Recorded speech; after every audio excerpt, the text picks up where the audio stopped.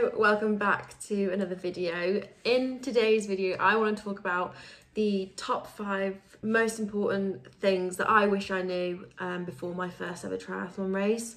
This is something that I wish that I had watched something similar to um, before my first race, just so that I could get fully prepared.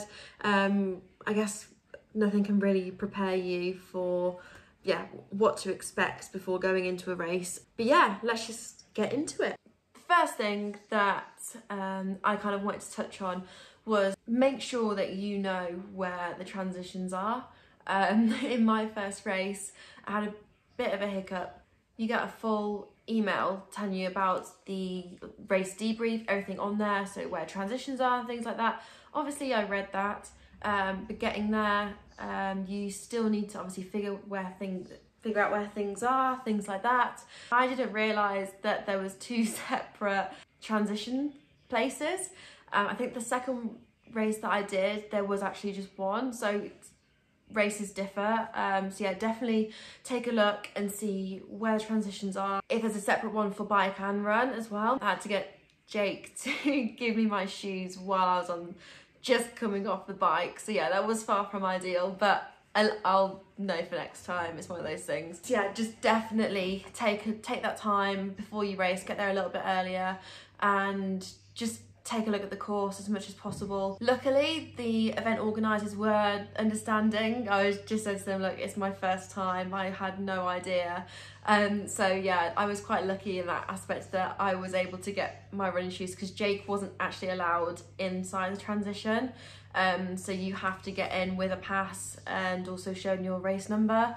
Um, so yeah, Jake was just standing on the sidelines and yeah, had to pass me my trainers. And I'm grateful that the organizer let me do that because otherwise I would have been running with just barefoot essentially. So that wouldn't have been good. Number two, be prepared to get kicked in the face. I mean this as literal as, as it is. The swim is pretty chaotic. So my first one was a sprint, so it's obviously in a pool. Um, you need to be able to obviously count your own laps. Um, so I think the one that I did was 500 meter. No one's going to be doing that for you. You literally have to be there on the second of your start time, uh, well, if not before. But the pool is just chaotic. I've never been any in anything like it before. Obviously, I've done my training all in a normal swimming pool, but um, I've had the luxury of having a lane to myself, not, you know, 20, 30 other people at the same time. Um, so yeah, just mentally prepare yourself for that. For the swim, that was my, or it still is, my least favoured part of the sport. Um, so yeah, it was pretty chaotic.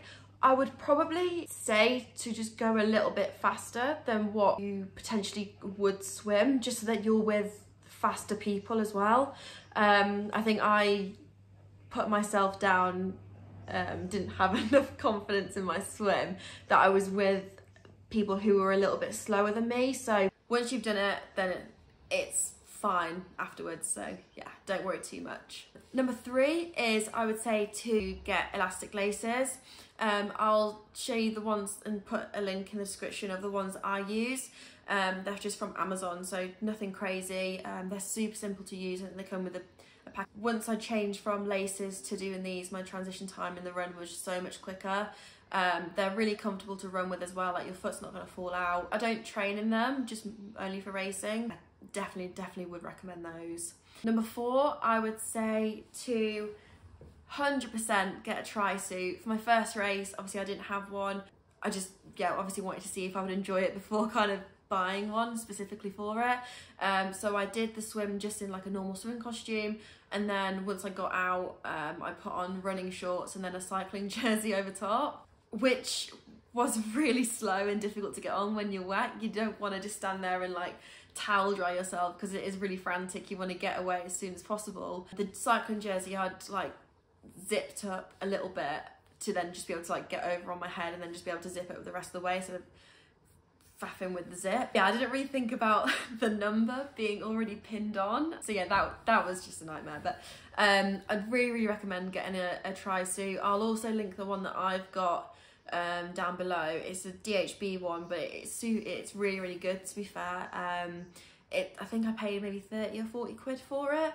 Um, so it's nothing nothing crazy expensive and I definitely didn't want to, you know, splash out the cash for just my second triathlon race. Um, but yeah, this one's this one's done really well. So obviously you do the swim in it.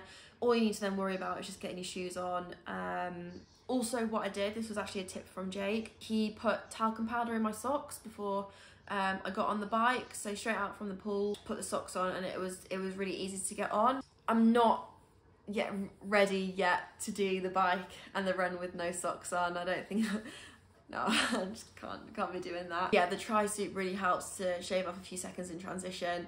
Definitely, definitely recommend that.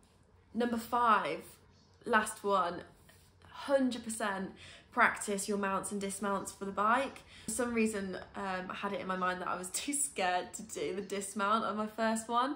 And I think it's literally just because I didn't have SPD cleats on, which, yeah, is daft. Literally once I kind of got that out of my head, I was just being ridiculous. It was just so much quicker. Um, you don't have to faff, you know, getting your leg off and you can just do it all swiftly um, and then just get straight to that mindset of getting ready for the run. So if you can do um, like a flying mount as well, that'll be a lot easier. Um, I think what I'm going to do next is to get a pair of tri shoes and also for like bigger races that I've got coming up is to start tying them with elastics. Um, pretty sure that that's what the pros do, just so that the shoes are already on there and you can just basically, you don't have to worry about putting your shoes on on the ground, which is obviously what I was doing. Um, I'm still using my road shoes, so they would be difficult to get on whilst on the bike. That's kind of like my my next step into making a, a faster transition. Um, but yeah, if you can practice those, it would really really help. Um, with the mount, I would just say literally just commit to it. Yeah, just got to get your leg over and that's it basically. Um, it will take a few times to get it right, um, especially after, I think after um, a swim as well, your legs will probably feel a little, little bit like jelly, but um, so yeah, mine definitely wasn't as smooth as what it used to be when I used to race cyclocross. But um, yeah, it all just comes down to practice, isn't it? So just stick at it. That's kind of my top five of what I would have done different from what I know now compared to what I knew when I first started. Um, I hope this helps. If you do have any other tips, just drop them in the comments because yeah, I'm still learning as well. I hope you enjoyed the video. Yeah, I'll uh, see you in the next one. Bye.